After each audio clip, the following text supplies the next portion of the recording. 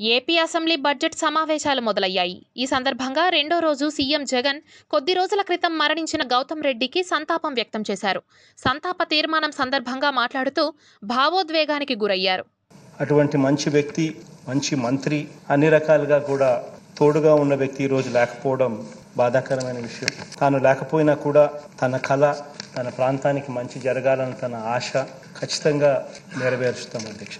ఉదయగిరిలో ఉన్న Rajamohan Reddy Institute of Technology and Science merits అని తన కాలేజ్ ఏదైతే ఉందో ఆ కాలేజ్కు గౌతమ్ పేరు పెట్టి ఆ కాలేజ్ను అగ్రికల్చర్ మార్చండి అని చెప్పి తను అడగడం జరిగింది అధ్యక్ష.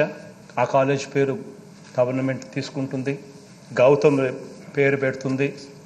గౌతమ్ను చిరస్థాయిగా కూడా గుర్తుంచుకునేలా జిల్లా ప్రజల్లో తాను ఎప్పుడు ఉండే మర్చిపోకుండా తాను తన స్థానం ఉండేలా మరో ఆరు వారాల్లో సంఘం బ్యారేజ్ ప్రాజెక్ట్ పనులు కూడా పూర్తవుతాయి అధ్యక్ష.